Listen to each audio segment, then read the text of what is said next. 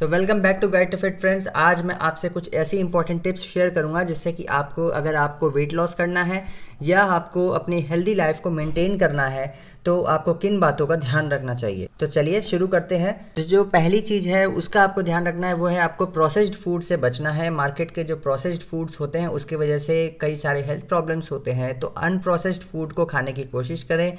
घर का जो नेचुरल फ़ूड है, उसे ही खाएँ।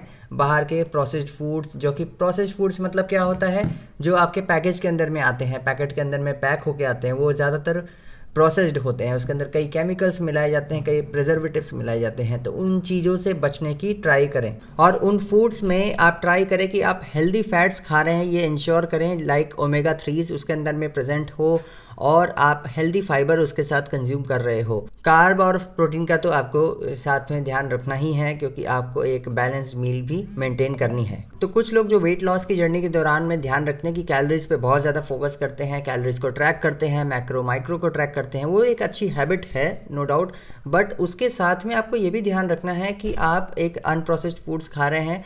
आप घर पे बना हुआ खाना खा रहे हैं, जिससे आपको ये पता रहे कि आपकी बॉडी में आप क्या इंजेस्ट कर रहे हैं। कैलोरी काउंटिंग अपने आप जब मैनेज हो जाएगी, जब आप माइंडफुल ईटिंग करने लगेंगे। और वही चीज़ है, अभी जो मैं थर्ड पॉइंट बताने वाला हूँ आपको, यहाँ आपको ध्यान देने की ज़रूरत है कि आपकी बॉडी की रिक्वायरमेंट क्या है बॉडी की नीड्स क्या है।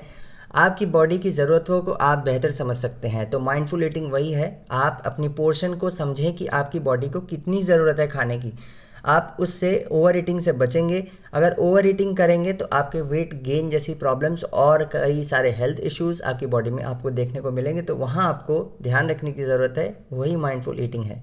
रेनबो का मतलब हो गया colourful veggies and colourful fruits ये आप अपने डाइट में रोज़ाना ऐड करें जिससे कि आपको कई तरह के वाइटमिनस एंड मिनरल्स आपकी बॉडी में जा सकें और ना कि सिर्फ़ आपकी डाइजेशन में ये सिर्फ़ हेल्प करेंगे, बल्कि आपके मल्टीपल ऑर्गन्स और उसकी ग्रोथ के लिए भी बहुत ज़्यादा इंपॉर्टेंट है।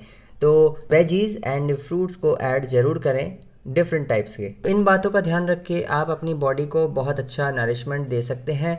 आप ध्यान रखें कि छोटी छोटी चीज़ों से ही एक अच्छे चेंजेस देखने को मिलते हैं बॉडी में। तो ये बहुत ज़्यादा कुछ है, हेक्टिक चीज़ नहीं है। आपको एक सिंपल चीज़ों का ध्यान रखना है। मार्केट की खाने की चीज़ों से बचना है और अपने घर के खाने को ज़्यादा इंपॉर्टेंस देनी है। जब आप ऐसा करेंगे तो आपको पॉजिटिव चेंजेस ज़रूर देखने को मिलेंगे। हम मिलते हैं नेक्स्ट वीडियो में। तब तक के लिए मुझे इजाज़त दीजिए। मैं हर्ष शर्मा। आपसे नेक्स्ट वीडियो में मिलता हूँ। धन्यवाद।